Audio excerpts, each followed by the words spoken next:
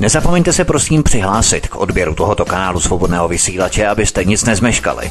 youtube.com lomeno c lomeno radio sv studio tapin radio. Dejte si prosím odebírat tento kanál kliknutím na červenou ikonku v horní pravé části obrazovky s nápisem odebírat a zaškrtněte také symbol zvonečku, abyste byli informovaní o nahrání každého nového pořadu. Tím také nepřijdete o čerstvé premiéry a rozmanité kauzy, které můžete dále sdílet na sociálních sítích. Hezký dobrý den, vážení a milí posluchači, od mikrofonu vás zdraví Vítek na svobodném vysílači CS. Vítáme vás u poslechu série letních pořadů, ve kterých se na svobodném vysílači zaměřujeme na krajské i senátní volby 2. a 3. října 2020. Dnes zavítáme do Jižních Čech. Jeho český kraj se nachází převážně na jihu Čech, ale v okolí Dačic zasahuje i na Moravu. Rozlehlý kraj má nejmenší hustotu zalidnění v rámci České republiky. Pouhých 63 obyvatel na kilometr čtvereční. Kromě českých Budějovic tu máme Český Krumlov, Jindřichův Hradec, Písek, Prachatice, Strakonice nebo Tábor.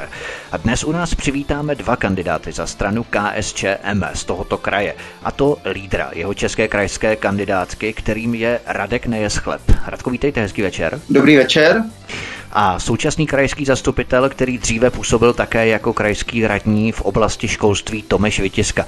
Pane Vytisko, hezký večer. Hezký večer všem. Budeme na začátku, představte se nám. Já už jsem to tak trochu udělal za vás, ale to myslím, že nebude vadit, protože eh, jaké je vaše politické zázemí nebo co vás konkrétně přivedlo do politiky a jak dlouho se v politice pohybujete? Radek Nejeschlap. Tak ještě jednou dobrý večer.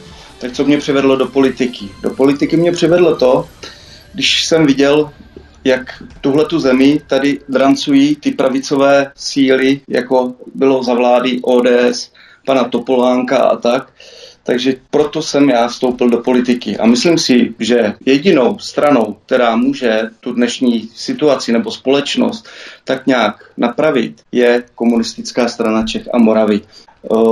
To znamená, to že jste chtěl vaším působením jak si vyvážit to kivadlo těžiště moci, které bylo příliš jaksi nachýlené doprava.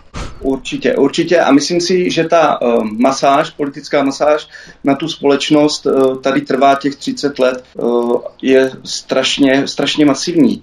Protože když se podívám, co se na nás uh, valí z médií a ze sdělovacích prostředků, to je prostě něco neskutečného moje děti slyší od malička jenom to, co bylo před rokem 89, prostě, že bylo všechno špatně, že jsme tady, já nevím, jenom lidi zavírali, zabíjeli, prostě to, je, to je nepřípustný, protože eh, z té doby před rokem 89 si musíme vzít taky to dobrý, co bylo. Že jo? Si vemte potravinová soběstačnost, dneska je to otázka, která je uh, hodně v kurzu.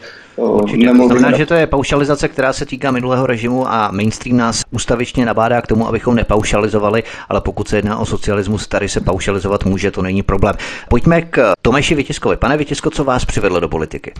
No, zřejmě rodiče, zřejmě výchova. Uh, asi, asi byť uh, u mě to je poměr, poměrně složitější, protože i, i můj otec uh, zažil nějaký vývoj svých politických názorů.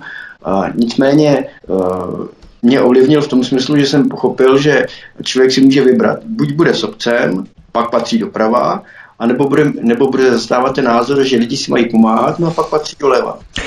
Já nejprve nechávám kandidáty, aby sami popsali stav svého regionu, co se týče jeho nedostatků věcí, které volají po řešení a na které by se strana KSČM zaměřila v případě úspěchu v krajských volbách letos na podzim. S čím tady vy vstupujete konkrétně do krajských voleb?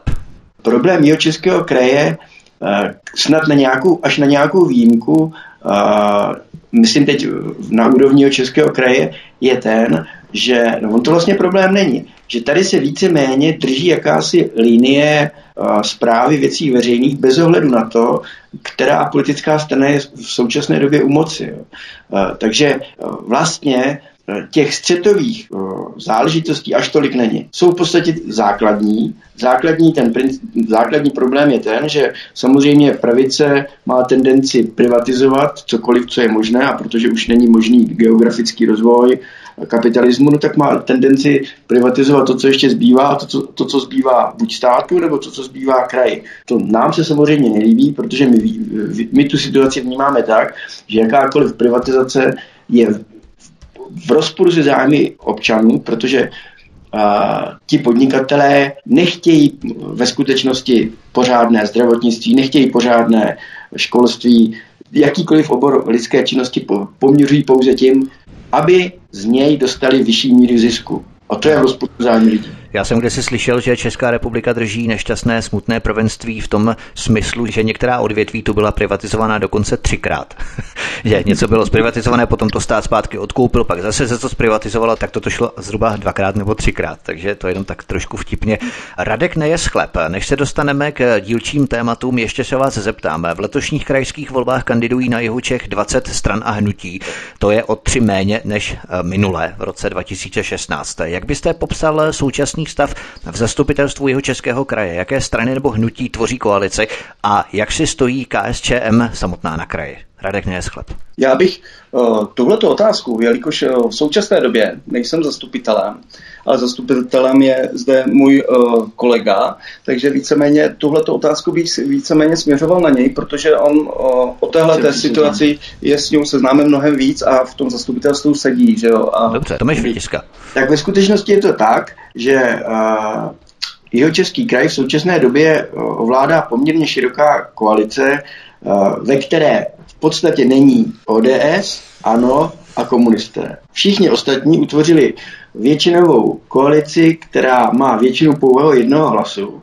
Ale pravda je, že v řadě případů, zejména v těch, v těch případech, kdy se domníváme, že ta navržená usnesení jsou zájmu občanů Českého kraje, komunistická strana poskytuje jakousi podporu té koalici.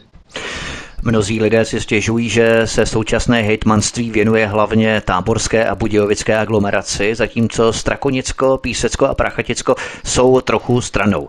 Máte také takový podobný pocit? Nebo se kraj věnuje všem jeho českým okresům, řekněme, vyváženě? Radek Nejesklep. Tak já si myslím, že uh, v současné době, že je to vyvážené, že prostě tam není vyloženě nějaký uh, markantní rozdíl, koho budeme víc preferovat, jestli budeme preferovat okres Tábor, Budějovice, Jindřichův Hradec. Myslím si, že to tak není, že to je pouze, pouze jenom taková domněnka.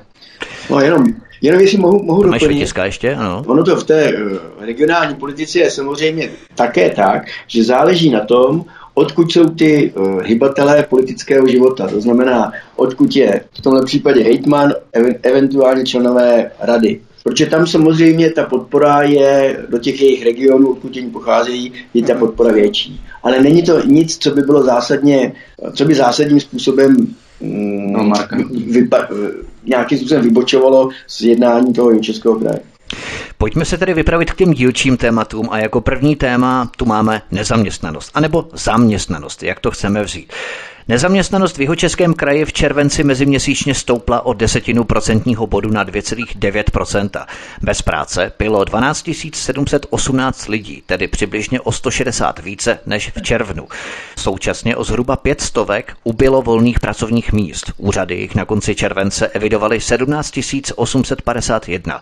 Mezi okresy nejvyšší nárůst nezaměstnanosti zaznamenali Českobudějovicko a Táborsko. Nejnižší zaměstnanost je naopak na Jindřichohradecku. 2,1% konkrétně. Znepokojují vás tato čísla nebo vzhledem ke krizi, kterou jsme prodělali, to hodnotíte jako ještě velmi mírné výkyvy? Radek Nejeschleb.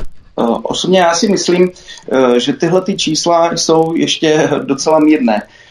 Podle mého názoru očekávám, že ty čísla se budou ještě zvyšovat, že přijde podzim, přelom roku a ty, ten dopad, ten dopad, ty krize, hospodářské krize bude ještě větší. Oni, je pravda, že se to teď nazývá koronavirovou krizí, ale vůbec to tak není pravda, protože ta krize je zde úplně jiná. Je, je zde hospodářská krize. Je to krize vlastně systémová. systémová takže krize kapitalismu. A ať si každý říká, co chce, koronavirus jako takhle, který oni považují za tu, vlastně za ten takový ten um, důvod téhleté krize, to byl jenom takový ten spouštěč. spouštěč ano, pod kterou se všechno schová pod tu koronakrizi. Ano, protože uh, dle mého názoru ta krize by stejně přišla a podle i mnoha odborníků a bude mnohem vyšší. A náš úkol, náš úkol bude se zastat těch lidí, zaměstnanců, obyčejných zaměstnanců, aby ten dopad na obyvatele našeho kraje byl co nejmenší. To je zajímavé, protože pokud by ta krize nastala v rámci finanční krize už opakovaně, to znamená nejenom v roce 2008-2009, ale i znovu tento rok, anebo příští rok 2020-2021, potom by lidé mohli začít pochybovat o vůbec perspektivě tohoto systému, současného systému, zda nám nabízí kvalitní a stabilní život do budoucnosti. A tak, když se to schová pod koronakrizí, tak je vlastně všechno v pořádku, může za to virus a tento systém je fakticky v pořádku. Nicméně, eh, vraťme se zpátky do Jižních Čech. Eh, strojírenský holding Motor Jikov Group bude pocitovat dopady koronakrize ještě několik let. Kvůli poklesu zakázek skončily ve společnosti desítky agenturních pracovníků ze zahraničí a počet zaměstnanců bude letos ještě klesat. Myslíte, že taková snižování agenturních pracovníků ze zahraničí by mohlo mít přímý vliv na nárůst zaměstnanosti Čechů, anebo stejně jako v ostatních, tak i v jeho českém kraji jsou už signály většího propouštění, hlavně tedy českých zaměstnanců. Tomeš Vidiska. Já působím v civilním životě jako advokát. A když jednám s klienty, tak jsem s překvapením zjistil, že eh, lidé v pozici zaměstnanců eh, byli vystaveni už teď snížení mest.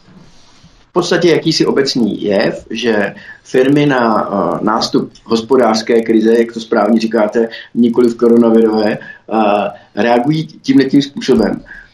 Podle mého názoru to, co se děje, je jenom začátek té velké hospodářské krize, která skutečně přijde.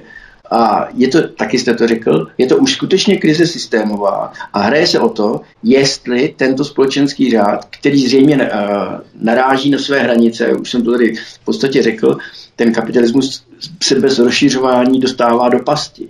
A oni se nemají kam rozšiřovat, protože dneska už je kapitalismus všude. S výjimkou pár, pár států, jako je Kuba, Korea a podobně. Ale pokud je otázka, jestli tam není náhodou státní kapitalismus, takže oni jsou v situaci, že ten kapitalismus narazil na, na své mantinely a co dál. A teď se v podstatě hraje zamlčeně o to, co přijde. Jestli přijde společnost lidí, kteří budou vystrašení, kteří se snáze nechají ovládat od jakékoliv vlády, nebo jestli bude, vznikne společnost lidí, kteří budou samostatně uvažující, budou uh, ochotní rozhodovat o svých osudech sami, což by se líbilo i nám daleko víc. Ano, určitě, ale abychom se opravdu od těch filozofujících tendencí přesunuli k té praktické politice v těch jižních Čechách. Nedávno jsme tu měli nové ohnisko COVID-19 v ubytovně pro zahraniční dělníky u sportovního areálu Tatran v Prachaticích firmy Intika Systems. Tady se sice jedná o zahraniční pracovníky, kteří byli v karanténě.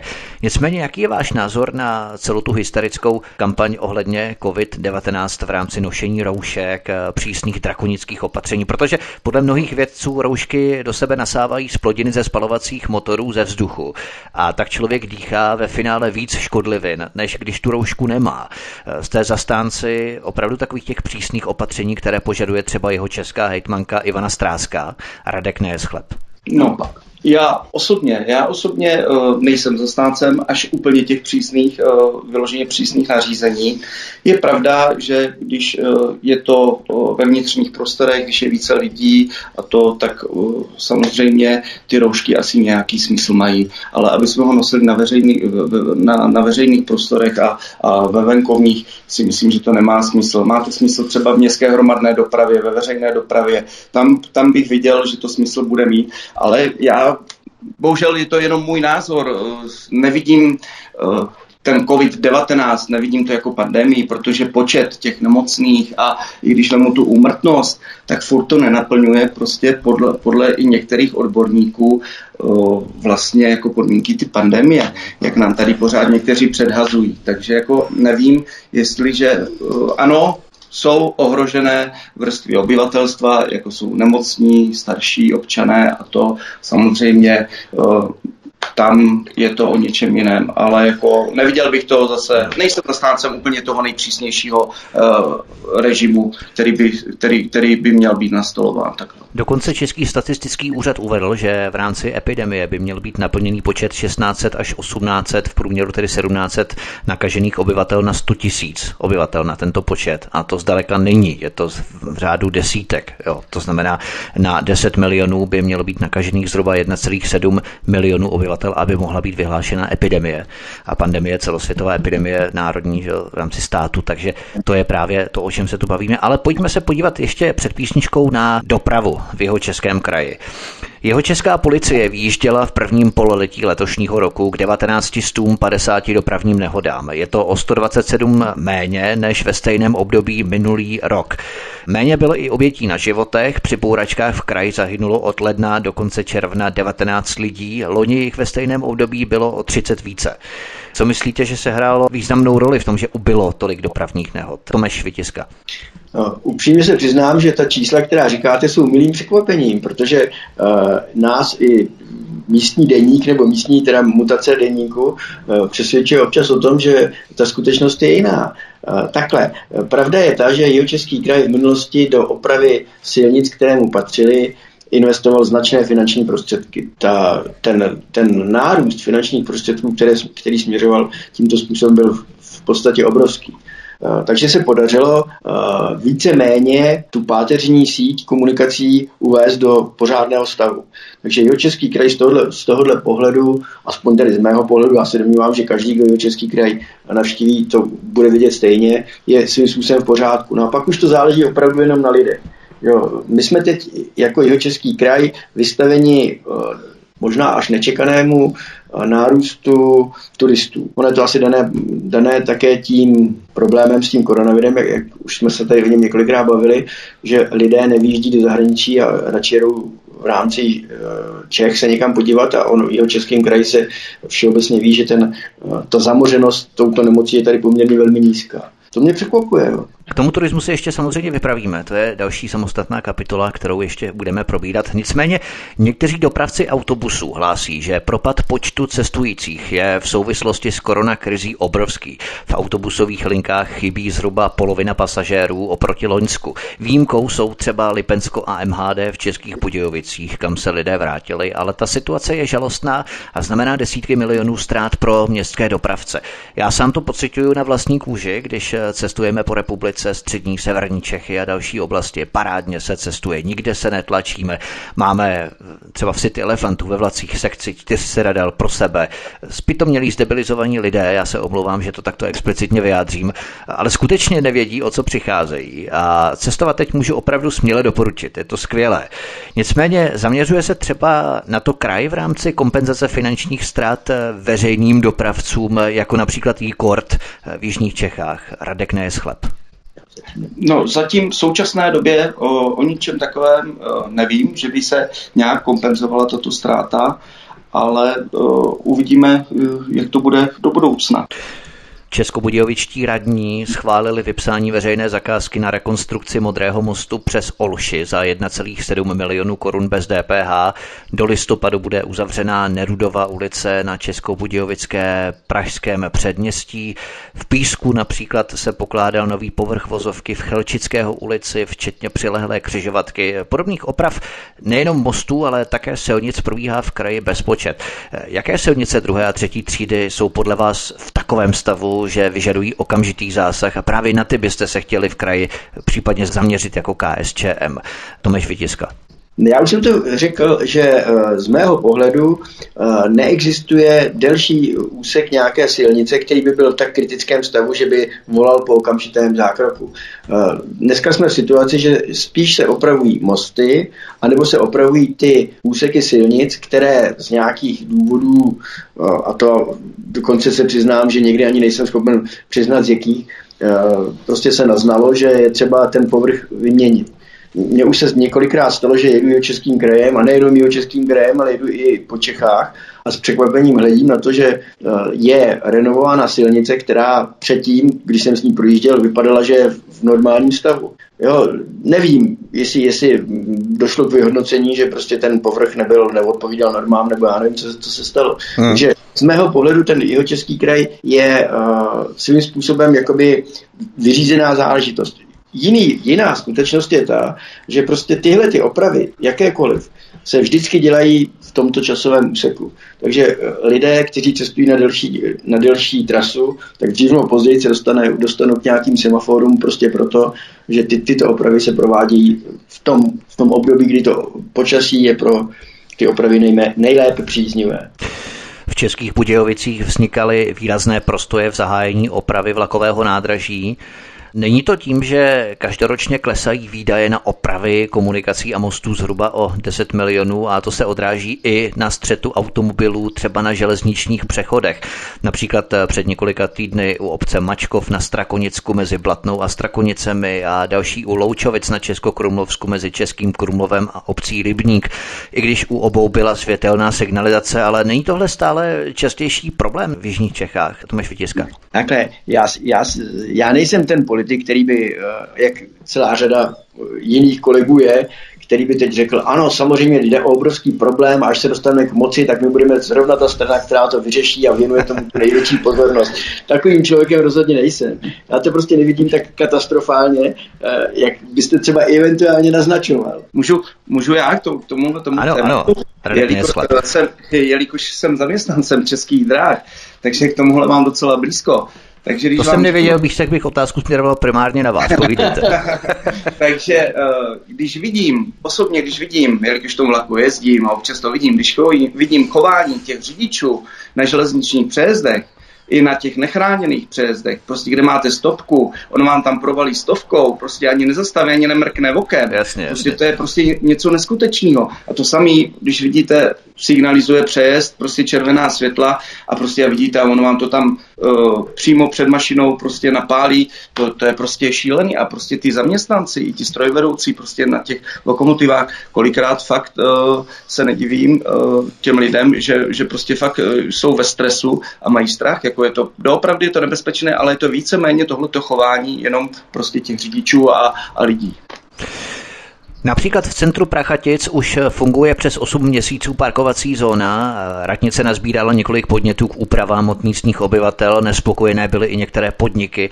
Odbor dopravy teď zveřejnil anketu, kde se mohou místní k zónám dále vyjádřit, protože tu vznikají potíže například se zásobováním. Počet automobilů v rámci individuální dopravy stále narůstá. To je úplně jasné každému. Je třeba parkování otázka, na kterou byste se chtěli na kraji zaměřit, nebo takto. Je tohle lepší ponechat na samotných městech, protože když šoféři přijedou do jiného města, ty systémy parkování jsou všude různé. Různé karty, výhody, značení, pruhy a barvy pro stání, jaká auta tam mohou zastavit, to znamená stáří těch aut, doba toho stání, někde je to na hodinu, někde je to na tři hodiny zdarma, pak se musí platit, jiné je to ráno, jiné je to odpoledne, jiné během víkendu, jiné pro rezidenty místní, jiné pro přespolní a tak dále. A motoristé v tom mají samozřejmě zmatek, galimatiáš, což se není čemu divit. A je velmi snadné získat pokutu za špatné parkování. Tak eh, jakým způsobem způsobem to třeba podsadit eh, do té roviny, že by to kraj nějakým způsobem zastřešoval takovýto kočkopes. Tomáš Vytiska. No to se asi nepodaří, protože uh, zatím teda aspoň uh, určitě ne, protože uh, kraj nemá možnost zasahovat do toho, jakým způsobem si jednotlivá města organizují parkoviště. To je záležitost, výsostná záležitost těch měst, které, naklá, které, které nakládají se svým majetkem a které uh, rozhodují o velikosti těch parkovacích ploch a samozřejmě i o ceně tý, té, té, těch parkovacích ploch. Samozřejmě, že kdyby, kdyby uh, ta záležitost byla v pravomocí Českého kraje, pak by asi šlo uvažovat o tom, co jste asi z mého pohledu správně naznačil, že by bylo uh, žádoucí, aby všechny ty parkovací systémy byly totožné a uh, návštěvníci měst nebyli vystavováni těm stresům s tím a orientovat se vlastně v tom, jakým způsobem platím a kde platím. Jestli, jo, Lídr jeho české krajské kandidátky za stranu KSČM Radek Nejeschleb a současný krajský zastupitel, dříve také krajský radní v oblasti školství Tomeš Vytiska jsou hosty stále u nás na svobodném vysílači. Od mikrofonu vás zdraví Vítek a po písničce pokračujeme v našem povídání dál a budeme si povídat o bydlení. Hezký večer. Lídr jeho české krajské kandidátky za stranu KSČM Radek Nejeschleb a současný krajský zastupitel Tomeš Vytiska zůstávají hosty u nás na svobodném vysílači. Písnička nám doznívá. Pojďme se podívat na bydlení. Může kraj nějak výrazně přispět k nastartování výstavby obecních bytů přispěním nějakých významnějších finančních částek, aby se postupně nahrazoval část spekulativně předražovaných nájmů v soukromém sektoru státním bytovým fondem? Protože byty se staví na jihu Čech, například Loni například vzniklo přes 2200 nových bytů, především v Českých Budějovicích. Tam v roce 2019 bylo skolaudovaných 709 nových bytů a také třeba ve Strakonicích v lokalitě Jezárky nebo ve Srubci. Ale ty byty staví developeři, takže ceny pro mnoho lidí nedostupné. Tak co s tím Radek Neschlep? Osobně si myslím, že tohle je otázka státu. S tímto bohužel kraj eh, nemůže nic dělat, není to v jeho pravomoci. Takže eh, toto si myslím, že nepatří eh, do naší kompetence nebo do krajské kompetence. To samé si myslím o obecních a městských bytech. To všechno je v kompetenci měst a obcí, takže bohužel s tím, nebo bohužel, s tím bohužel kraj nemá nic společného a myslím si, že proto nemůže takhle nic udělat. Jo.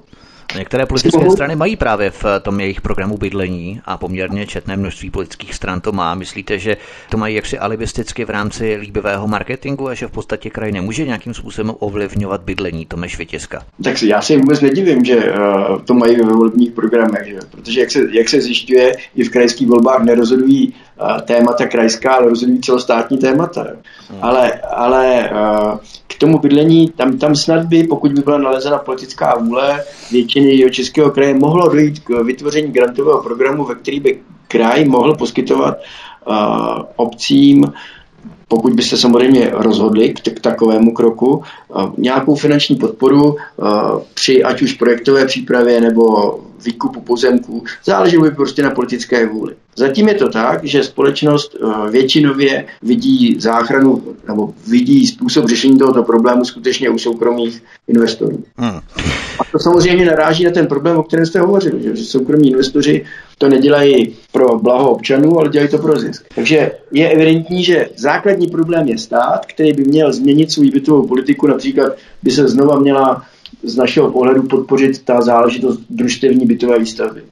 Ale to je zajímavé, protože v Českých Budějovicích se staví například mezi parkem Stromovka a areálem jeho České univerzity v lokalitě Úlučního jezu nebo o kousek dál po proudu Vltavy proti zimnímu stadionu, ale přesto zájem o tyto prestižní adresy roste. Prý od lidí, kteří se do Budějovic stěhují eh, z venkova, tedy do města. Je to dobrý signál pro jeho český venkov? Tomeš Vytiska. Uh, takhle, uh, nevím, jestli to je dobrý signál pro jeho český venkov, nicméně ve vztahu k jeho českému venkovu si jeho český kraj chová velmi vstřícně. Každý rok je schvalován grantový program v rozsahu 100 milionů korun, který jde uh, skutečně jednotlivým obcím a jednotlivým městům a ten grantový program je i, pokud jde o administraci, to znamená vyřizování úředničinu, velmi vstřícný a je velmi oblíbený. Uh, bez ohledu, to je to samé, jak už jsem říkal, bez ohledu na to, kde u moci tento grantový program existuje a skutečně směrem venkovu ta podpora je poskytována. Ona ta podpora je poskytována třeba i v oblasti školství v tom, v tom smyslu, že český kraj nemá za, žádný zájem rušit školy na takzvaně na okraji uh, kraje, kde to bohužel ta situace není jednoduchá. Ale naopak snaží se uh, samozřejmě ve spolupráci s tím příslušným městem uh, činit takové kroky, aby střední školství zůstalo zachováno i v těchto oblastech. Například Českobudějovická radnice vlastní 1818 bytů, 1818 bytů a slibuje, že začne stavět 200 nových na pozemcích po bývalých kasárnách ve čtyřech dvorech u hokejového centra Pouzar. Chystají se také vnitřní rekonstrukce dvou nejstarších panelových domů, experiment na lidické třídě a kuldům na Pražské. Jak moc se tyto věci může ovlivňovat kraj v rámci těch bytů, jsme si řekli, protože lidé v těch městských bytech si stěžují vedle neuměrného zverání činže, že město nutí k podepisování pro ně nevýhodných smluv na dobu určitou v trvání pouze tří nebo šesti měsíců, což znamená samozřejmě nátlak, nejistotu, absolutně nevýhodné podmínky pro ty nájemce. Myslíte, že i ta bytová politika by měla projít nějakým zhodnocením a stanovením jednotných pravidel pro všechny stejnými? což by právě třeba také mohl zastřešit kraj, donutit ta jednotlivá města, aby tu bytovou politiku jaksi skonsolidovali, nenutili ty nájemce k nějakým nevýhodným smlouvám a tak dále, nebo to kraj nemůže. Radek Neeschlep. No, s tím, dle mého názoru, s tím kraj nemůže, s tímto problémem kraj nemůže nic dělat. Tam je pouze může spolupracovat eh, s tím městem nebo s tou obcí, ale bohužel to není v kompetenci tohleto krajské. České Budějovice se do té obtížné situace dostaly koncem 90. let. Ještě k bytům, kdy s vysokou slevou rozprodali většinu svých bytů. Šlo o téměř 18 tisíc bytů a v současnosti je ve městě 68 tisíc bytů v různých formách vlastnictví a městských bytů jsou necelá 3%. To znamená 97 soukromých bytů a 3% pouze vlastní město. Eh, je vůbec tady nějaká šance podle vás obnovit tak zdecimovaný a rozprodaný bytový fond v tak katastrofálním stavu? Protože tohle je naprosto otřesné, co se odehrálo s těmi byty v Českých Budějovicích. Tomáš Vytiska. No ne, to je to, o čem jsme se bavili. Jako pokud nedojde, nedojde ke změně bytové politiky na centrální úrovni, tak se velmi obtížně bude měnit ta situace eh, v těch místech. A to, to, je, to je kdykoliv jako to, to, co jste říkal o, tak řekl, bytové politice města České Budějovice, to mě teda nemile překvapilo, ale nicméně je to plně v jejich kompetenci. Záleží na nich. Že jo? To, eh, jakým způsobem oni přistoupili k bytové politice, je záležitost samozřejmě politická a občané, kteří to zažívají, asi zřejmě potom v těch volbách dají najevo, jakým způsobem se ta eh, radnice k ním chová. No. Ale jinak ten, ten problém je bohužel ten, že, že eh, tady pořád přetrvává eh, myšlení, které bylo prosazováno po roce 89, že stát, obce, samozprávný kraj jsou nejhorší vlastníci a je třeba jim všechno sebrat a naopak to dát soukromým vlastníkům. Bohužel jsme to viděli v té oblasti bytové a vidíme, jaké plody ta, tato politika sklízí. Abychom trošku pozitivnili tu debatu a nadnesli trošku pozitivní světlo, tak když se tu bavíme o mladých rodinách například, tak jenom na okraj v Českokrumlovské porodnici se minulý červen a červenec narodilo 99 dětí, ale letos tu za stejné měsíce přišlo na svět už 121 dětí, takže Jižní Čechy i zejména Český Krumlov se pišní takto vysokou porodností. Čím si to vysvětlujete? Jde o rodiny, které se na jihu Čech usazují, anebo to přičítáte spíš Českokrumlovské malé porodnici se vstřícným personálem, do které se sjíždějí maminky z celé republiky. Radek. Tak, je, je to možné, je to možné. Nevím, jaká je situace přímo na porodnickém oddělení eh, Českokrumlovské nemocnice. Jestliže je kvalitní, tak eh, tím lépe, protože je to krajská nemocnice, samozřejmě to jsme rádi, ale eh, myslím si, že i větší počet dětí je i tím, že když si vezmu tu situaci ekonomickou, která tu byla před tou nastupující hospodářskou krizí, kam můžu zařadit vlastně počátek toho, kdy se to dítě zrodilo, když to vezmu takhle, tak eh, je vidět, že těm lidem bylo dobře, že vlastně nám málo co eh, scházelo, tím pádem eh, lidé přemýšleli o tom, že si založí rodinu prostě a ta porodnost tím pádem stoupla. Jo. Takže když, když si vezmeme, nám opravdu před, tou, před tím spouštěcem, před, před tím covidem, jak já říkám, uh, nám opravdu málo co chybělo. Spousta, spousta lidem bylo dobře, uh, měli slušný plat, prostě ekonomicky se nám dařilo, takže i tohle to vedlo k tomu, že vlastně ta porodnost stoupla a přemýšleli o tom, že si pořídí rodinu. Tak to je pravda, protože když jste nadnesl, že se dítě zrodilo, tak 9 měsíců před no. květnem, červnem bylo září, říjen 2019 a lidé ještě tehdy nevěděli, že přijde nějaká korona krize, že? Ano, samozřejmě. To Nepřišla korona krize. Přišla hospodářská krize, která no. je zakrývaná koronavirovou krizí. Tak, upřesně. Tak ten marketing trošku odlišný. Co se týče ale sociálních věcí ještě, tak zastupitelé Milevska například v červnu odhlasovali, že vyčlení z městské kasy 35 milionů korun na rozšíření místního domova pro seniory. Ministerstvo práce a sociálních věcí teď rozhodlo, že navýší původně slíbenou dotaci o 6,5 milionů korun, příspěvek tak činí necelých 28 milionů korun. Jsou domovy pro seniory jednou z vašich priorit, nebo se chcete spíš orientovat nebo zaměřit na pomoc v terénu, ambulantní péči, asistentní péči. Radek Nejeschleb.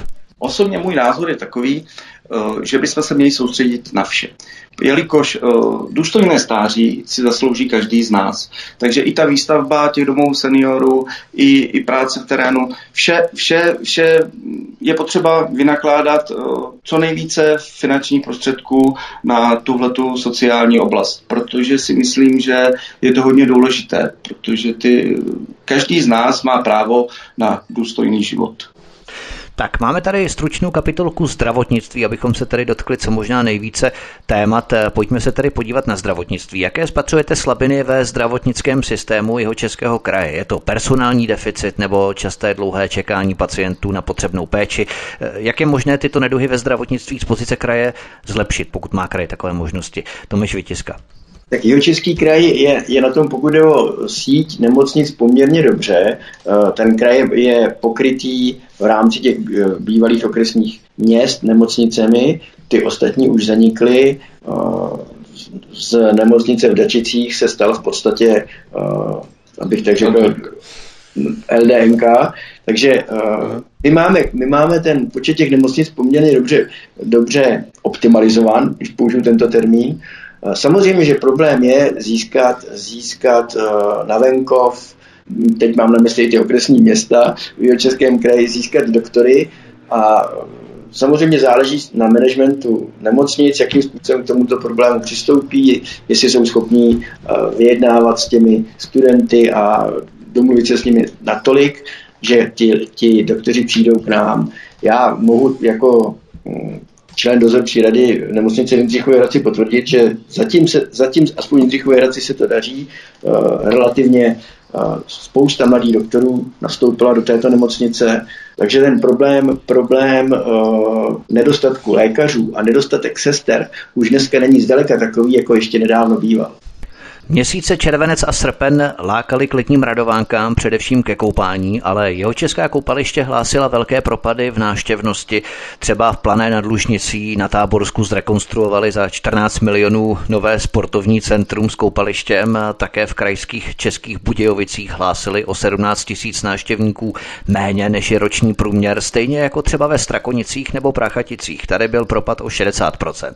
Myslíte, že se na menší účasti podepsalo počasí, anebo lidé přehánějí ty obavy s tím koronavirem tolik skloňovaným. Nebyla by vhod eh, třeba nějaká osvěta z pozice kraje, aby lidé příliš nepřeceňovali někde až hystericky rizika spojená s koronavirem? Radek Nejeschlep. Um. Můj názor je takový, že hodně to ovlivnilo počasí, protože když vezmeme letošní léto, tak takové léto, jaký, nebo když vezmu červenec, eh, takový, jaký byl začátek července, první 14 dní, první tři týdny, že nám propršelo, tak uh, takové léto už nepamatujeme dlouhé roky. Ale buďme rádi zase ohledně jiných... Ano, suchá, jiných, to taky budeme probírat. Ale uh, i, to, i to, že ti lidé mají strach, že mají strach, větší strach, z toho se slukoval, kde se slukuje víc lidí, chodí na místa, kde se slukují, slukuje víc lidí, uh, je taky jeden z možných aspektů. Ale uh, řekl bych, že větší, větší, větší dopad na to mělo to počasí.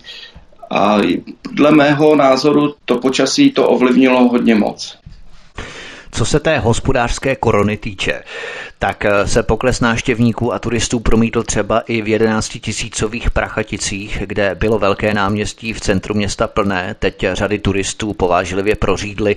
Lidé stornují rezervace například u hotelu Koruna nebo ubytování u dolní brány v Prachaticích. Myslíte, že jde o krátkodobý pokles nebo se ta situace může ještě zhoršit, i když připouštím, že tady jde o věštění z křišťálové koule. Tomeš Vytiska. No máte pravdu, že do, do jisté míry jde o věštění z křišťálové koule, protože uh, nepochybně na tuto situaci má vliv to, že spousta našich spoluobčanů se nechala tou každodenní masáží, jak je covid nebezpečná záležitost, tak zmást, že prostě se chovají uh, až přehnaně opatrně, bych řekl, protože uh, divte, se, divte se tomu, odborníci říkají, že COVID má nejlepší PR všech nemocí na světě. Žádná nemoc v tomto směru s ní nemůže konkurovat s touto nemocí. No a ono to je pravda. Že když si vezmete to, to z mého pohledu zásadní porovnání, a to je tedy počet zemřelých, no tak eh, když porovnáváte skutečná čísla, tak s překvapením zjistíte, že tato nemoc, aspoň v Čechách, a nejenom v Čechách, má eh, úmrtnost na COVID menší například než na chřipku. Mimochodem na covid se vůbec neumírá, umírá se na nemoci, které jsou důležitější a ty hlavní, primární tedy. A covid je pouze jakýmsi prvkem, který posiluje dopady nebo symptomy té hlavní nemoci, která toho člověka stížila. Tak to je důležité taky. Takhle, ale to je, tohle, tohle už je vysoce odborná záležitost, do které bych se nerad pouštěl, protože oni vám samozřejmě řeknou ti zastánci toho, jak je COVID nebezpečný, že e, ta e, extrémní forma té nemoci, která je v podstatě na úrovni prudkého zápalu plic, sama o sobě zřejmě taky by mohla eh, tu, tu smrt uh, zapříčinit. Ale jinak máte pravdu, že dneska už ten údaj není takový, že zemřelých na covid, ale zemřelých s covidem. To máte pravdu. Ano. Jen, jenom si vezměte to, kolik vy osobně, kdo z vašich příbuzných nebo kdo z vašich známých uh, tuhle tu nemoc měl nebo prodělal nebo kdo, kdo zemřel z vašeho okolí na tuhle tu nemoc. Já třeba někdo, někdo z mých příbuzných ani známých nikoho takového neznám, kdo by to prodělal na tož, aby umřel. Takže jako prostě nevím, podle mě je to uh, až přefouknutá bublina, až moc je to zmedializovaný. Nevím, dle, to, je, to je jen můj osobní názor, ale je to tak, koho se ptám, tak málo kdo přišel s někým do styku, kdo, opravdu uh, tuhle tu nemoc prodělal. Podle ředitele jeho České centrály cestovního ruchu Jaromíra Poláška se ale region nemusí bát výraznějšího odlivu turistů. Celokrajsky k rušení pobytů podle něj nedochází. Souhlasíte s ním, nebo se Jaromír Polášek snaží jak si zažehnat eh, ještě horší důsledky právě dopady toho koronaviru, respektive hospodářské krize? Radek Nesklep. Jenom já takovou menší uh, zkušenost mám od nás, uh, jelikož manželka je provozní v, místní, v jednom autokempu, vlastně je to její zaměstnání, Eh, takže tam občas si taky vypomáhám, takže vidím, kolik lidí. A řekl bych, že ta návštěvnost, návštěvnost je uh, menší, i ty tržby jsou menší, než byly v loňském roce nebo v letech minulých. Každý nás strašil tím, jak bude uh, spousta lidí, jak budou přefouknutý kempy, jak zde bude narváno a to, ale ono to je zase až tak pravda. A co já osobně přicházím do styku eh, s těmi lidmi, s těmi rekreanty, a, nebo co mě volají i ti bývalí uh, zákazníci, co k nám jezdí každoročně, tak uh, je to taky, někdo se bojí, bojí se situace vlastně, bojí se toho koronaviru, že tam je spousta lidí, jak to funguje a takhle. Potom spousta lidí mě volá, že nemá dovolenou, že vybrali dovolenou před, uh, přes tu koronavirovou krizi. A taky jsou lidé, kteří mě volají, hele, dívej, já chodím dvakrát, třikrát týdně jenom do práce, já, my nemáme peníze. A nepřijedou mm. na 14 dní, jak jezdívali dřív, ale přijedou na 3, na 4 dny. Takže jako uh, neviděl bych, uh, neviděl bych, uh, že ten cestovní ruch, uh, že to bude takový to očekávání, co bylo, takový ten boom tuzemský, jak někde třeba média ukazují, jak jsou narvaný kempy, jako když jsem to viděl, tak to není pravda. Vůbec to není pravda. Je, myslím, že spíš je to opačně, že ten, aspoň v těch kempech, když já to vidím, tak ten pokles těch rekreantů je. Je pravda, že penziony říkají, že mají víc vyprodáno, ano, ale kdo jede dneska na dovolenou? Ten, kdo byl ochotný dát za dovolenou 50-60 tisíc a jel k moři, tak vám pojede dneska na dovolenou, pojede do nějakého penzionu nebo do hotelu. Tak možná penziony, hotely ano, ale kdo má třeba klientelu na ty nižší úrovni, tak zde už vlastně i dopadá vlastně ta uh, zmiňovaná hospodářská krize, uh, protože ty lidé nemají už dneska i ty finance, anebo fakt tu dovolenou vybrali přes ten covid. My jsme se stali jako Jihočeský kraj do jisté míry cílem toho turismu z celých Čech, takže my na tom svým způsobem vydělali. Jo, tady skutečně ta návštěvnost toho Jihočeského kraje jaksi globálně se zvýšila. Ale druhá otázka je, jestli ty lidé na to mají peníze nebo nemají a podle toho samozřejmě hledají tu příležitost, jak si to, jak si to užít. A jestli ještě k tomu, eh, potom, když jdete třeba večer a dříve byly třeba plný ty restaurace, třeba v těch kempech a to, tak dnes to není. Dneska je doopravdy vidět na těch lidech strach, že ty lidé se přijdou najíst do té restaurace a jdou potom po svým a udržují takovou tu místní komuniku třeba u těch stanů, u karavanů, prostě uh, jsou prostě víceméně spolu s tou rodinou, ale dřív, jak byly plný hospody a to večer, to dneska taky není. Mm. Je vidět ten strach prostě těch lidí, prostě taková ta ostražitost tady pořád je a bude to mít dopad samozřejmě i na ty podnikatele, na, na zisky, tím pádem to bude mít dopad i na zaměstnanost, že jo, na, zamě, na zaměstnance a to je jedno z druhých. Zase na jejich rodiny a to potom se promítá do všech odvětví. Nicméně na druhou stranu k tomu, co nadnesl Tomeš Vytiska za červenec, hlásili provozovatelé penzionů a hotelů v Jižních Čechách, že se povedlo téměř naplnit jejich kapacity, jak ubytovací, tak i stravovací. Ale 90% z těch turistů jsou Češi a struktura ubytování se také změnila. V kurzu jsou delší pobyty a objednává se 3 až 5 dní předem, prostě na poslední chvíli. Takže Jaromír Polášek zřejmě tak nepřeháněl, že celou celokrajsky nedochází k úbytku návštěvníků. Naopak, jak nadnesl Tomáš Vytiska, ta návštěvnost v jeho českém kraji se zvýšila. Je, je to tak, a řada těch penzionů je skutečně, ale to jsou prostě to, co říkal Radek, že jo. Čím jsou ty lidi bohatší, tím se mohou dovolit, abych tak řekl, lepší ubytování a protože mají peníze, no tak si samozřejmě to, to ubytování dopřeju. Prostě tak to je. Hmm. Vraťme se ještě na skok ke koupání. Když si vezmeme přírodní koupaliště, tak voda nevhodná ke koupání byla na jihu Čech u veřejného tábořiště Podolsko na přehradě Orlík. Tady hygienici dokonce zakázali koupání. Ale voda byla také špatná ve Staňkovském rybníku na Jindřichohradecku, naopak u libenských pláží v Černé v Pošumaví a v Lipně nad Vltavou byla voda vhodná ke koupání, jenom s mírným zhoršením těch vlastností vody.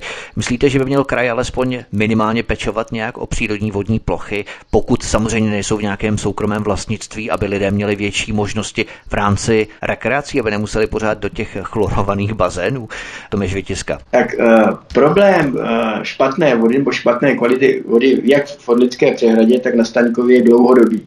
To, je, to jsou prostě desítky let, kdy se neustále každý rok zjišťuje, že to jsou nejohroženější vody. Je to dané zřejmě tím, že ty uh, lokality jsou uh, obklopeny uh, zemědělskou půdou, která je určitým způsobem obhospodařovaná a dochází k splavu e, dokonce chemikálí, kterými se také hnojí že do těch, do těch uh, nádrží.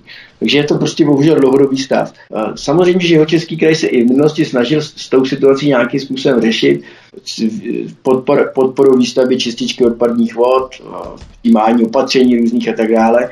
Nicméně příroda je příroda a představa našich předků o tom, že porušíme větru dešti nebo dokonce v vodě je možná, ale bohužel v reálu, v reálném životě je to jinak.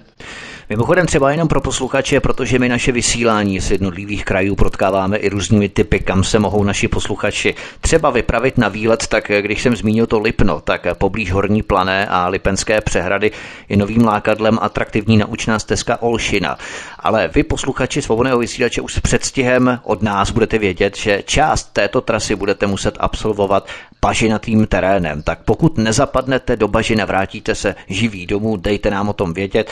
A pokud se nevrátíte, tak nám ani o tom vědět dávat nemusíte. Tak, svobodný vysílač je vaším průvodcem dnešní večer. Povídáme si s kandidáty jeho českého kraje, konkrétně lídrem jeho české krajské kandidátky strany KSČM Radkem Nejeschlebem a současným krajským zastupitelem Tomešem Vytiskou. Vítek vás zdraví od mikrofonu, hezký večer. Lídr jeho české krajské kandidátky za stranu KSČM Radek Nejeschleb a současný krajský zastupitel, dříve také krajský radní v oblasti školství Tomeš Vytiska jsou hostem u nás na svobodném vysílači od mikrofonu vás zdraví Vítek. Pojďme se podívat na sucho. My se tu bavíme o bazénech, bazénářích, jejich poklesu nejenom hladiny v bazénech, ale hlavně náštěvnosti, o přírodních koupalištích, ale zkusme se podívat na vodu jako takovou. Vzruch mezi starosty i obyvateli několika obcí na Kaplicku zbudili plány, podle kterých může na Malši u Chlumu vzniknout nová přehrada. Ministerstvo zemědělství zařadilo lokalitu do dokumentu, který vymezuje místa, kde by v příštích desítkách let mohly být nové nádrže. Ty by zásobovaly domácnosti pitnou, po případě užitkovou vodou při jejím nedostatku. Myslíte, že masivní budování betonových nádrží přispějí k zadržování vody v krajině? Protože pokud čelíme suchu, čili nedostatku vody, můžeme mít sebevětší nádrž, ale pokud nezaprší, celé monumentální dílo betonářské lobby je nám úplně k něčemu. Mají tedy podobné megalomanské projekty vůbec opravdu nějaký smysl? Radek Neschlep. No, dle mého názoru eh, všechno, všechno, co je k tomu, eh, aby, aby to sucho, aby, to, aby jsme předešli tomu suchu, aby jsme zadržovali tu vodu, tak si myslím, že eh, vše pro to, co budeme dělat, je dobré. Jo, ať, je to, ať je to budování nových přehrad, ale jako ty finanční prostředky, který to bude stát, budou nemalý. Plány na stavbu velkých přehrad kritizují někteří odborníci, kterým nepřipadají jako efektivní řešení problémů sucha. Přírodovědec třeba Jakub Hruška z České geologické služby a Ústavu výzkumu globální změny Akademie věd České republiky tvrdí, že je mnohem důležitější pracovat s podobou krajiny a udržovat vodu přímo v místě, kde prší, než ji zachytávat až kdesi v přehradách. Souhlasíte s ním, Tomeš Vytiska? A tak uh, podívejte, já bych to možná vzal trošku ze širšího pohledu. Mně se hrozně líbilo, jak uh, chvíli poté, kdy se v našich hromadných sdělovacích prostředcích objevila myšlenka prezentovaná podobně jako COVID, že sucho je daleko větší nebezpečí než COVID, tak od té doby prší. To mi udělalo hroznou radost, jo? protože zase se ukázalo, jak některá ta média opravdu uh, informují objektivně. A myslím si, že uh, je otázkou, co k tomuto stavu došlo. Když se člověk baví uh, s lidmi, s kamarády, s známými, tak víte, co převažuje? Naprosto neuvěřitelně převažuje názor, že od té doby, co přestali lítat letadla, tak je počasí normální. Hmm. Samozřejmě, to že... jsem také slyšel hodně často, ano. To je prostě obecný názor, nevím, kde se vzal. Samozřejmě to říkají lidi, kteří říkají, no jo, ale oni nám potom řeknou, ti takzvaní odborníci, že jsme se zbláznili a, a tak dále. A nicméně ten názor tady zaznívá jako z celé řady spolu, spolu, spoluobyvatel a zřejmě jenom vyjadřuje to, že eh, to utlumení průmyslové výroby, k níž, k níž došlo v souvislosti s nástupem té hospodářské krize, zřejmě skutečně jakoby poskytlo tý, té přírodě eh, šanci, aby se vrátilo to počasí, které tady dříve bylo. Jinak, jinak si to nedokážu vysvětlit. To je jedna věc. A druhá věc je, on to Radek říkal, a já s tím také souhlasím, Uh, samozřejmě, že se mohou přijímat opatření toho typu, o kterých mluvil ten uh, odborník, kterého jste, kterého jste citoval. Ale nicméně uh, lidé, kteří chtějí řídit politiku státu a možná dokonce do jisté míry i toho kraje, to jsou lidé, kteří by měli vést patrnosti ty základní zájmy těch svých spoluobčanů. A jedním z těch základních zájmů je dostatek pitné vody. A když to nejde jinak, tak bohužel i ta betonová přehrada může být dobrá. Ministerstvo zemědělství zveřejnilo i plán pozemkových úprav na dalších 10 let. Podle něj by se mělo na jihu Čech do roku 2030 investovat 2,6 miliardy korun, což je druhá největší částka ze všech krajů. Je podle vás ta částka dostatečná vzhledem k počtu úprav, které je třeba na jihu Čech provést v boji se suchem? Radek Nejeschlep. Nevím, možná ano, možná ne záleží na tom, eh, co to bude všechno obsahovat. Eh, já nevím, osobně nejsem eh, na tuhletu, téhleto otázce možná natolik kompetentní k tomu odpovídat. To by měli vědět ty státní úředníci a, a ten stát, že, když vyčlenil takovou tu část, nebo když hmm. že taková tu částka na to bude.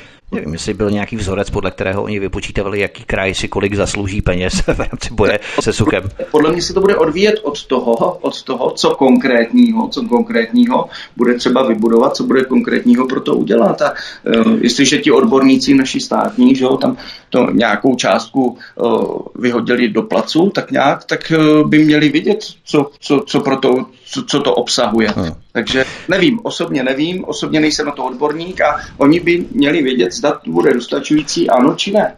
Co se týče těch konkrétních věcí, například v Pracejovicích u Strakonic se dokončuje na Velké louce vedle vodárny nové prameniště. Jde o čtyři obří kaskádovité příkopy s měkkým propustným dnem, které budou zadržovat vodu z řeky Otavy a zvyšovat stav podzemní vody. Investuje kraj do podobných pramenišť část krajských peněz? Myslíte, že podobné projekty citelně zmírní dopady boje se suchem v Jižních Čechách? Tomáš Vytiska. Takhle, uh, kraj také nemá kompetence v této oblasti. To je záležitost státu. Takže kraj zatím žádná, žádná takovéto investiční akce, aspoň pokud je mi známo, neinvestuje. Já tady slyším pořád, že kraj nemá kompetenci k tomu, kraj nemůže dělat tohle. Co vlastně kraj může dělat, nebo jak chcete motivovat potom lidi, aby šli volit do kraje, když vlastně kraj de facto skoro nic nezmůže? Ne, tak kraj, kraj má kompetence především v oblasti dopravy, zdravotnictví, školství, so, eh, sociálních věcí a v oblasti uh, územních plánů. To je, to je ten základ uh, působnosti kraje, oblast, ve které on může cokoliv podporovat, rozhodovat a tak dále. Všechno ostatní jsou uh, celostátní problémy anebo místní problémy těch obcí a měst. Tady se tluče, tady se tluče ten problém, o kterém jsem tady hovořil, že i v krajských volbách se běžně používají témata, která s krajem, s krajem nemají nic společného. A já bych se jenom vrátil k tomu, co tady zaznělo, jestli ta částka je dostatečně velká. Ono také bude záležet na tom, jakým způsobem se ty peníze rozdělí. To znamená to, co bude skutečně investováno a to, co bude ziskem. Protože samozřejmě ten zisk, ten se tam, abych tak řekl, neprojeví. Ale francouzská veolie. Zadržováním vody se zabývá i hejtmanství mimochodem. Od Loňska pokračuje projekt, díky němuž se po celém kraji vysazují mladé stromky na mokřady a rybníčky dal jeho český kraj. Loni 5 milionů a letos další 4 miliony. V Písku chtějí vybudovat retenční nádrže na Jehněckém potoce na úpatí Píseckých hor. Vy jako KSČM byste chtěli na kraji podobné projekty rozšířit, nasměrovat do nich více peněz, protože tady se dostáváme k tomu, že kraj opravdu může něco málo, i když málo, v tom boji se suchem dělat. Takhle, jeho český kraj historicky nakupuje mokřadla. To je záležitost minimálně jednoho volebního období, nebo možná už dvou volebních období, kdy, kdy se tak tímto způsobem chová. Má to skutečně ten vedlejší efekt, o kterém jste teď, teď hovořil, že to také jakoby přispívá k zadržování vody v krajině. To je pravda. On, on je ta záležitost daná i tě, tou takzvanou naturou, to znamená přírodními oblastmi, ve kterých se podporuje a, přírodní, ať už chov, nebo teda výskyt, výskyt tactva a tak dále. Takže ten, ten problém je historický, ty, ty natury jsou zřízeny už poměrně dlouho, takže to, o čem se teď hovořil, je pravda, že to je svým způsobem vedlejší záležitost ve vztahu k zadržování vody. Ono upřímně řečeno, eh, já jsem kdysi dávno četl eh, v tom eh, to bylo samozřejmě přitištěno z, z toho Foreign Affairs, což je americký uh-huh americká tiskovina zabývající se zahraničními věcmi. A tam se tvrdilo už asi před 25 lety, že příští světová válka bude o pitnou vodu. Ano, v některých částech už se k tomu schyluje mimochodem planety. Problém s vysušováním půdy řeší i Národní park Šumava. Projekt Life for Mars má v přírodních biotopech zadržet 170 tisíc kubíků vody. Letos se obnovuje 15 lokalit na Prášilsku, Modravsku a Stožecku v rámci obnov mokřadů a rašelinišť, přesně o čem mluvil Tomeš Vytiska. Myslíte, že Národní park Šumava dělá dostatek, nebo byste chtěli z pozice kraje přispět s nějakými návrhy i třeba na Šumavě, co je potřeba, protože kraj přece jenom ví asi lépe než stát, co s tou Šumavou je třeba dělat, aby se tam zadrželo co nejvíce vody. Tomeš Vytiska.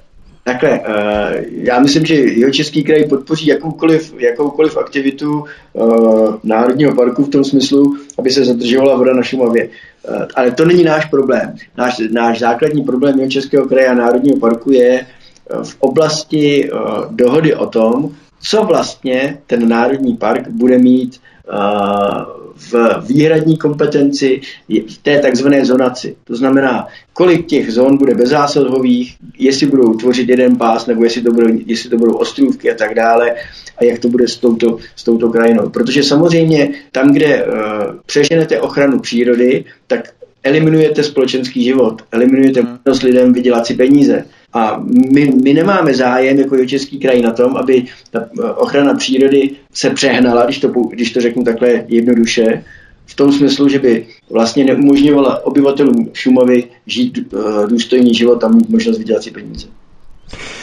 Ve druhé polovině června postihla obyvatele Volár na Prachaticku s 3800 obyvateli nepříjemná situace. Z kohoutku tekla špinavá voda. Lidé několik dní museli pro pitnou vodu k přistaveným cisternám a stejná situace se ale opakovala i v Třeboni, zejména ve Vodárenské ulici a Pražské. Jak chcete třeba na kraji řešit kvalitu pitné vody, aby se podobné situace neopakovaly? Protože významnou roli tu sehrály staré vodojemy třeba. Proč společnost Čevak, vlastně, která provozuje ty vodovody a kanalizace, proč ta společnost Čevák neinvestuje do vodní infrastruktury? Má kraj třeba nějaké nástroje k donucení vodárenských společností, aby do té infrastruktury investovali? Nevím, jak je to s Čevakem, jestli opět eh, zisky z vody neodtékají do francouzské veolie a tak dále, ale má kraj nějakou možnost, jak eh, ty vodárenské společnosti přinutit k takovým investicím? Tomeš Vytiska. No, já, já si teď nejsem schopen uvědomit, jestli uh, v příslušné právní úpravě je nějaká možnost pro kraje sankcionovat, sankcionovat takováto zjištění, že by někdo eh, se řádným způsobem nestaral o tu kvalitu dodávané vody v rámci té vodovodní sítě. Uh, nevím, Předpokládám, že státu má určitě, nevím, jestli i kraje mají možnost v rámci svých promocí nějakou takovou sankci dát. Ale jinak je to ten, skutečně ten problém, o kterém jsme se tady opakovaně bavili, a to je problém soukromých vlastníků, kteří upřednostňují vytváření zisku před tím, aby se starali o ten majetek, který nějakým způsobem provozují. To, to, vám řeknou, to vám řeknou, uh, abych tak řekl, téměř každý odborníci, kteří, se kterými se o tom budete bavit, pokud samozřejmě nejsou zaplaceni tou firmou, ne, k tomu, aby prezentovali názory, že? a řeknou, že bohužel ten, ten uh, jev je stále stejný, uh, finanční prostředky, které jsou vytvářeny formou zisku, otýkají do zahraničí. Eh, Čelak, tuším, eh, není francouzský a teď nevím, jestli je rakouský nebo německý. Ale to je, Jasně, to je jedno. Ale prostě to je jedno. Eh, jako komunistická strana se domnívá, že tento stav by bylo třeba zvrátit a vykoupit všechny, ty, všechny ten, tyto majetky vodohospodářské od těch zahraničních vlastníků. No. Tak. Oni přece investují. Oni přece investují, to znamená, oni si odtahují ty zisky pryč, ale stát potom musí ve finále financovat opravu toho potrubí a těch čističek a tak dále. Ale pojďme opravdu, máme málo času, pojďme se podívat na poslední téma našeho rozhovoru, kterým je kultura. Nedávno byl zrekonstruovaný a otevřený Wortnerův dům v Českých Budějovicích, který otevřela Alšova, jeho česká galerie. Rekonstrukce stála zhruba 30 milionů korun, z nich část pokryla dotace. Má KSČM zájem na kraji rozvíjet podobné kulturní projekty, anebo by se peníze v tomto rezortu měly nasměrovat do jiných kulturních akcí? Co byste si představovali v kultuře? Tomeš Vytiska. No, já bych si vzal to slovo, protože uh, součástí té mé funkce byla i kultura. Tak jsem kromě, kromě toho... Školství a kultura kultura. Měl, uh-huh. i, měl i tu kulturu. Uh, tohle jsou samozřejmě projekty, které jsou dělené uh, z důvodu, že jsou skutečně třeba, uh, protože ten stav těch objektů je dlouhodobě špatný. Nicméně, jakmile se zjistí, že existuje dotační možnost, no tak jeho český kraj se, se tímto směrem orientuje a pokud se podaří získat ty dotační peníze, tak samozřejmě probíhají ty, probíhají ty jednotlivé rekonstrukce nebo eventuálně dostavby za, mé, za mého působení jsme například rozhodli o tom, že se k stávajícímu objektu knihovny v Českých Budějovicích přistaví uh, vlastně další objekt, který by měl pokrýt ty potřeby, které jsou nebo které jsou spojené s tím, že ta uh, knihovna je skutečně velmi, velmi navštěvovaná a počet knih se zvyšuje a tak dále. Takže uh, to, to, co se děje v oblasti kultury, je uh, zase v rámci kraje podporovaná napříč politickým spektrem všemi. No, ne, nevšiml jsem si, že by některý eh, z politických subjektů říkal, že eh, finanční prostředky, které jdou do kultury, jsou zbytečné, že bychom vyhazovali peníze z okna a podobně. Naopak, domnívám se, že to je jev, který je, dobře, který je dobrý a domnívám se, že kulturu je třeba podporovat. Byť je to takováto, řekněme, institucionalizovaná podpora, není to ta živá kultura. Že? Kraj e, nemá možnost eh, sám cokoliv v tomto směru eh, ovlivňovat. Hmm. Byť, byť eh, je vlastníkem celé řady kulturních organizací, ať je to ta knihovna, ať je to muzeum, ať je to hvězdárna, ať je to zoo a tak dále. Tady v Českém kraji je taková zvláštní situace, že uh, řada těch objektů se tváří jakoby městských a ve skutečnosti jsou krajské a řada dalších kulturních objektů, jako je třeba divadlo, o kterém se říká, že jeho české je ve skutečnosti městské. Jo. Takže mezi jo. a mezi městem neustále probíhá jakási interakce o tom, jak kdo se bude podílet na, té, na to financování té kultury. Hmm. A zatím, zatím to není, zatím to není uh, tak, že by to bylo ke škodě. Já k tomu taky uh, říct svůj. Ano, Radek Nesklad. Takže si, takže si myslím, že eh, všechny, všechny, všechny uh, politické uskupení, všechny politické strany se budou snažit uh, dávat uh, ty peníze stále pořád do kultury, protože uh, si myslím, že jsme kulturní národ a, a měli bychom být kulturně vzdělaní lidé, takže myslím si, že to jsou prostředky, které tam budou vynakládány pořád dál. Zámek v Jindřichově Hradci letos slaví 800. výročí, ale kvůli rekonstrukci letos třeba nefunguje otáčivé hlediště v Českém Krumlově a tak leto s jeho českým divadlem bylo 1. srpna zahájené místo toho na Loveckém zámečku Ohrada u Hluboké nad Vltavou. Myslíte, že by měl kraj posílit ten turistický ruch nabídnutím třeba nějakých speciálních voucherů nebo vstupenek, což jsem řešil třeba s některými kandidáty právě KSČM z jiných krajů, kde to tak třeba dělají, protože ten skomírající cestovní ruch bude mít jaksi devastující vliv na, já nevím, nejenom zámky, ale třeba i pro další kulturní atrakce. Jak by se to chtělo řešit? Takhle, jestli mohu, tak jeho český kraj na, myslím, že posledním zasedání krajského zastupitelstva, co bylo před prázdninami, odsouhlasil tuším 30 milionů na podporu turistického ruchu formou těch voucherů pro návštěvníky kraje z jiných krajů. To znamená, ty peníze měly být směřovány pro rodiny, kteří, které se déle než tuším dva nebo tři dny budou zdržovat v jeho českém kraji, s tím, že by vlastně jeho český kraj za ty lidi zaplatil část nákladů na to ubytování. Takže to, takové to usnesení už přijato bylo. Otázka samozřejmě, jestli bylo, jestli bylo nutné v té situaci, že uh, těch uh, objektů, které jsou relativně plné, je poměrně dost. Ale schválili jsme to. Probělo. S kulturou se pojí i životní prostředí. Ministerstvo zemědělství začíná sbírat žádosti o příspěvek na zmírnění dopadů kůrovcové kalamity. Týká se pouze soukromých vlastníků lesa, kteří zaznamenali loni škody. Majitelé lesů nebo jejich správci se mohou na jeho český krajský úřad obrátit a v případě úspěchu dostanou 398 korun za každý metr kubický dřeva, o který kvůli kůrovci přešli. Ministerstvo letos schválilo na pomoc lesníkům až 7 miliard korun.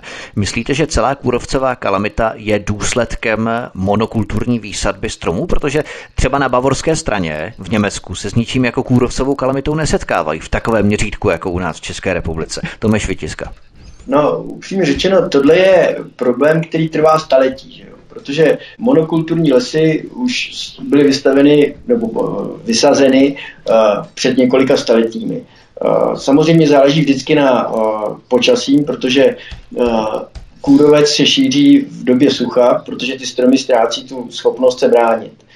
Eh, domnívám se, že nemáte úplně pravdu, že, že ten problém s kůrovcem mají i naši zahraniční přátelé, protože kůrovec nezná hranice, takže mu jedno, jestli přeletne ze Šumovy do Německa nebo z Německa na Šumovu. Ale jinak, eh, podle mého názoru, v této oblasti, to znamená v té oblasti souboje nás všech s kůrovcem, stát a všechny ty další instituce, včetně, včetně vlastníků těch lesů, zklamali, Uh, protože z, z mého pohledu šlo zřejmě dělat daleko víc.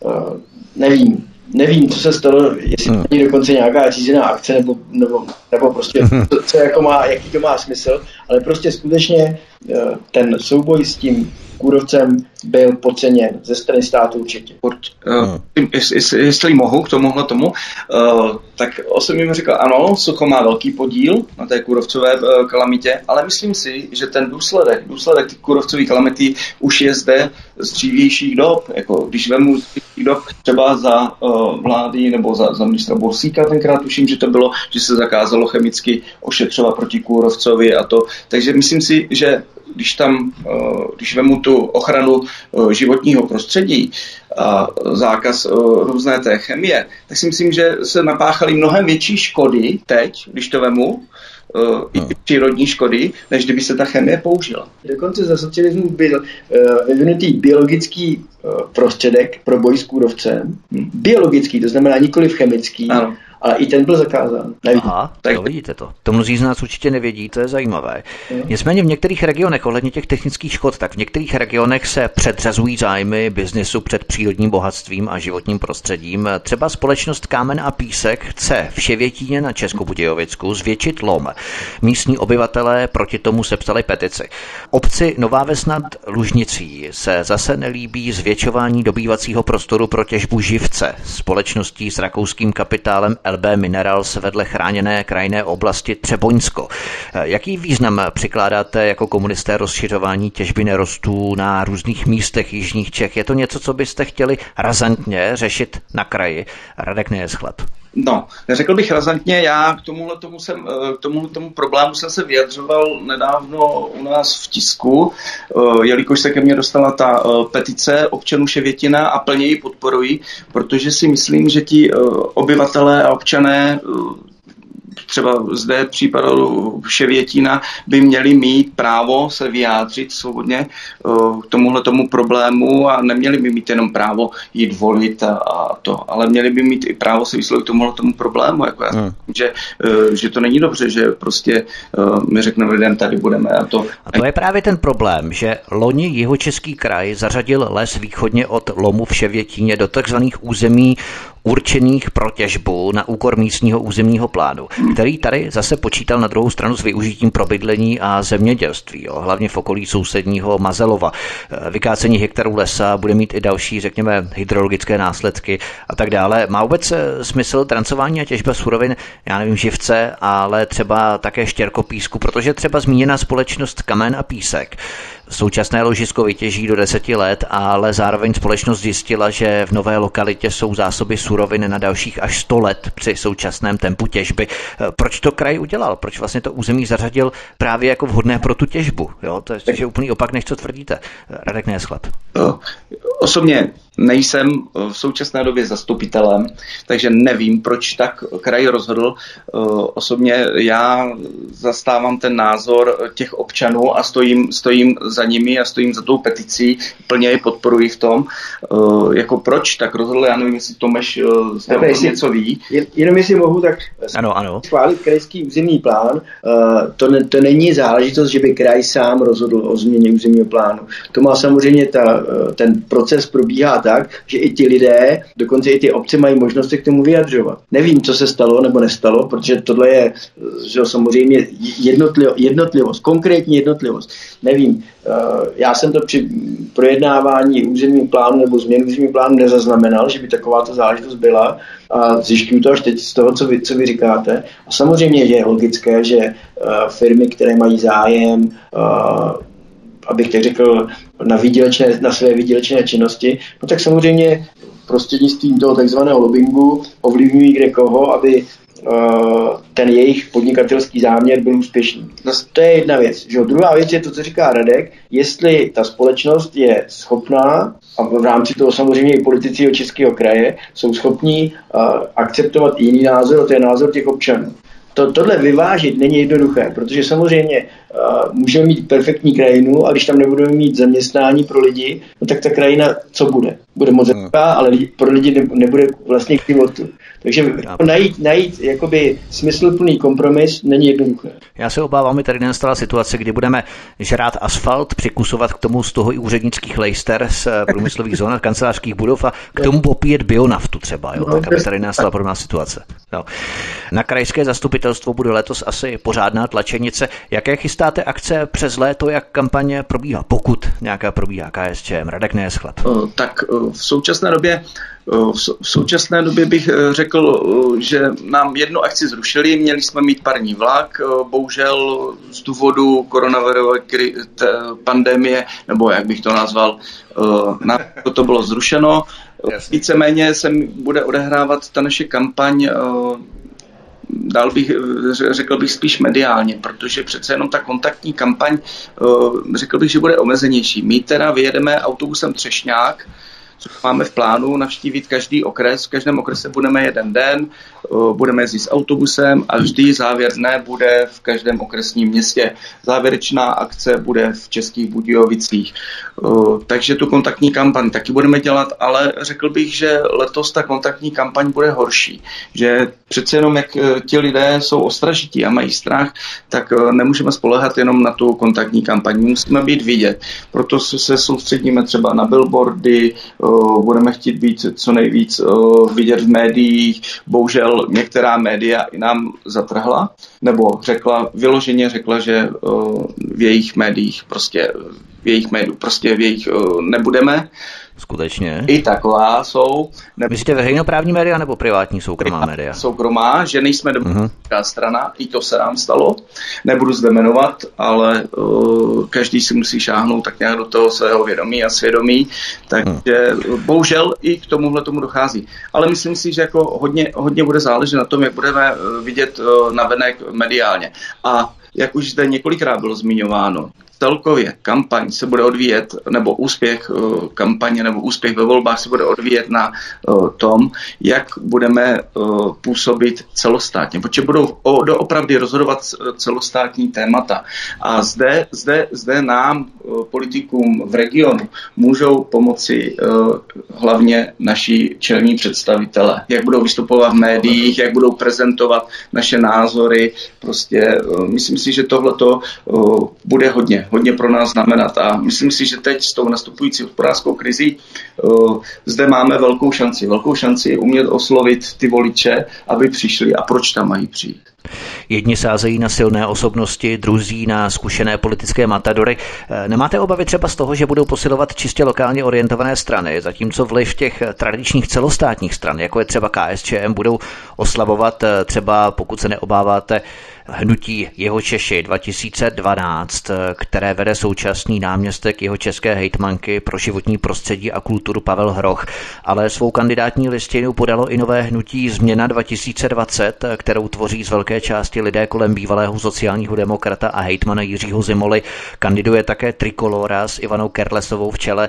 Jakou konkurenci pro vás představují tyto ve smyslu lokální politické subjekty? Tomeš Vytiska. No, samozřejmě, že každý, každý politický subjekt je konkurence konkurencí. Ale eh, z mého pohledu by ta politická konkurence měla probíhat, nebo respektive politický souboj měl probíhat na úrovni myšlenek, na úrovni toho, eh, jestli jsem schopen před, předložit nějakou smysluplnou vizi a popis té skutečnosti, která teď zrovna tady je a vizi toho dalšího rozvoje. A tady by měl vlastně probíhat ten souboj. Bohužel jsme svědky toho, že e, namísto toho, aby politika byla souboj myšlenek, je politika souboj v podstatě na úrovni která zubní pasta je lepší. Jo? Hmm. Já nejsem schopen posoudit, jakým způsobem se nás zasáhne, do, nebo jestli, jestli nám nějaké voliče sebere trikolora, než si nám voliče sebere hnutí změna 2020, což je v podstatě, jak se to správně řekl, hnutí bývalého hitmana, úspěšného hitmana pana Zimoly. Uh, uvidíme samozřejmě po, po výsledku voleb, až se ty hlasy sečtou. Ale samozřejmě je to souboj. No, tak jestli, jestli někdo uh, chce ten souboj podstoupit, tak ať ho podstoupí. Ano. Od toho je Úplně poslední taková bonusová otázka spíš. V Kestřanech na Písecku se už po 28. uskutečnilo tradiční rýžování zlatinek z písku na dně řeky. Eh, máte v plánu jít třeba také zkusit těžit zlato a přispět tak do stranické pokladny do krajských voleb? Jakékoliv zlato probíhá, nebo v současné době zaznamenává obrovský nárůst ceny. Takže možná i ty zlatinky byly docela zajímavé. No. Ale museli byste prokázat původ těch peněz, no tak byste uvedli, že jste těšili zlato. Proč ne? Možná se nechá inspirovat. Tak, nějací sponzoři právě tajní, aby to nebyli. Lídr jeho české krajské kandidátky za stranu KSČM Radek Nejeschleb a současný krajský zastupitel, dříve také krajský radní v oblasti školství Tomeš Vytiska byli našimi hosty u nás na svobodném vysílači. Pánové, držíme vám palce a doufejme, že získáte nějaké významné procento v říjnu a lidé opravdu se přesvědčili. Tím naším povídáním si myslím, že byl velmi dynamické, velmi živé a zkusili jsme pokrýt co nejvíce témat, tak aby se lidé mohli opravdu kvalifikovaně rozhodnout, zda jim vůbec stojíte za to, aby se zvedli a do té místnosti šli i navzdory věcem ohledně propagandy v rámci koronaviru. Držte se, pánové, hezký večer a díky. Děkujeme za možnost vystoupit. Děkujeme a hezký večer všem. Tento i ostatní pořady si, milí posluchači, stáhněte na stránkách svobodného vysílače anebo zavítejte na náš YouTube kanál a tady prosím klikněte na tlačítko umístěné v pravé horní části obrazovky s nápisem odebírat, abyste odebírali tento kanál, stali se se členy a nezmeškali jste tak žádný z našich pořadů. Od mikrofonu vás zdraví Vítek, přeju vám hezký večer a příště se s vámi opět těším na slyšenou. Prosíme, pomožte nám s propagací kanálu Studia Tapin Radio Svobodného vysílače CS. Pokud se vám tento nebo jiné pořady na tomto kanále líbí, klikněte na vaší obrazovce na tlačítko s nápisem Sdílet a vyberte sociální síť, na kterou pořád sdílíte. Jde o pouhých pár desítek sekund vašeho času. Děkujeme.